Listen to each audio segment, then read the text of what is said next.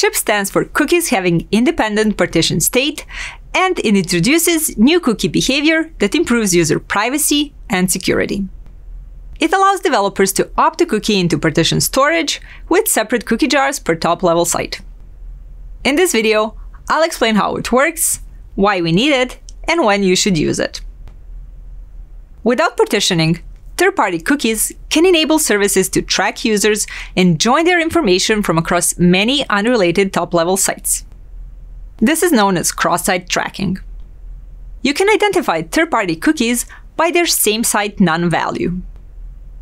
Once Chrome starts limiting access to third party cookies by default, any cookies that contain same site none will require updates. Chips, related website sets, or Storage Access API will be the only way to read and write cookies from cross-site context, such as iframes, when third-party cookies are blocked. So make sure to audit your use of cookies so your sites are prepared to run without third-party cookies. Let's see how Chips works.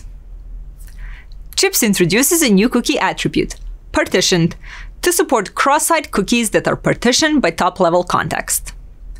All partitioned cookies must also be set with secure attribute to ensure they are only set and sent over secure protocols.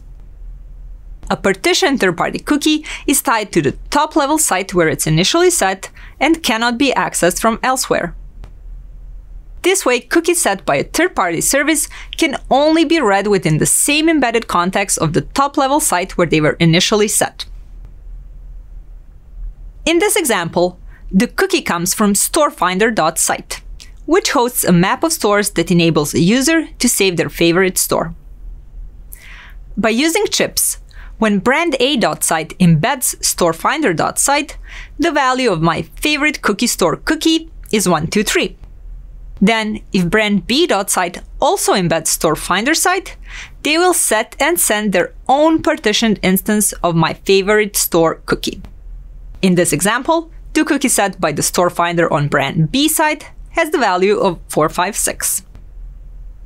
This means that embedded services can still save state, but do not have shared cross-site storage that would allow cross-site tracking. Use cases for chips include third-party chat embeds, map embeds, or payment embeds, sub-resource CDN load balancing, headless CMS providers, sandbox domains for serving untrusted user content, and more. Chips is easy to implement. It's just adding another attribute to cross-site cookies. So if you have a service that's embedded in a third-party context, check if Chips satisfies your use case. If your site is embedding a third-party service like this, you don't need to make changes to any cookies, but do check with your service provider that your dependencies will continue working when third-party cookies are blocked. Chips is an important step to help services make a smooth transition to a future without third-party cookies. It is really the way cookies should work by default. But backwards compatibility is an important part of the web. By having an additional attribute, Chips provides an opt-in to a more restrictive, more secure type of cookie behavior.